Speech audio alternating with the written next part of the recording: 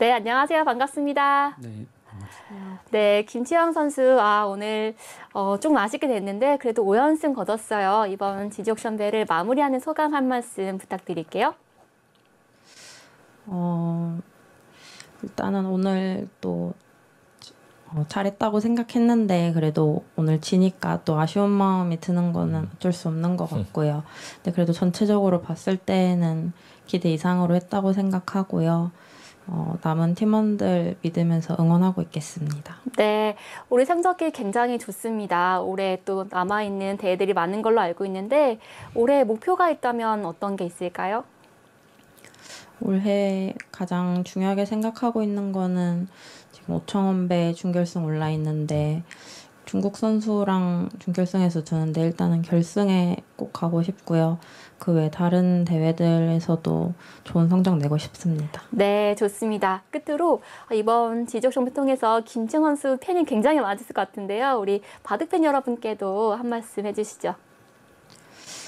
어, 항상 응원해 주셔서 감사드리고요. 어, 오늘 대국 마지막으로 이제 지지옥션배에서 내려가게 됐는데 어, 앞으로도 많이 응원해 주시길 부탁드리겠습니다. 네, 이번 대회 정말 좋은 모습 감사드리고요. 앞으로도 응원 많이 하겠습니다. 네, 그럼 조한 선수 아, 이번이 첫 번째 출전이에요. 오늘 네. 네, 대국 한 소감 궁금합니다.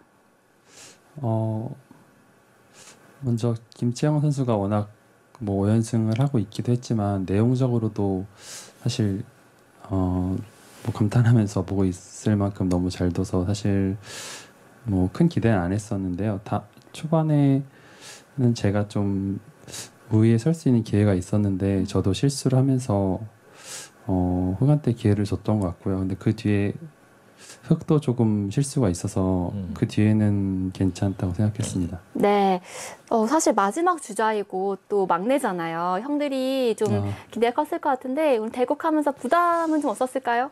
어, 어, 특별히 없었고요. 제 아까 말씀드린 것처럼 뭐 김치영 선수 포함해서 오유진, 최정 선수가 다 어, 저보다는 강한 것 같아가지고요. 그래서 아마 제가 그 카톡방에서도 기대는 하지 마시라고 하고 나왔습니다. 네.